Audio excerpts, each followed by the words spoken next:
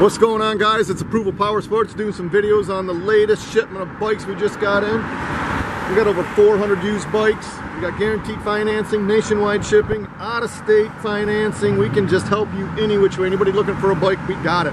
This one is a 2004 Suzuki Bandit 1200. So it's an inline four-cylinder motorcycle, okay? It's not a V, it's an inline. It's got 13,238 miles. These things are hard to find. It's clean, comes in the charcoal metallic paint. It's all stock, no modification. Just been serviced at a factory authorized Suzuki dealership. Been inspected, all the fluids have been changed. This thing is ready to ride. A great bike, guys. These things are a lot of fun.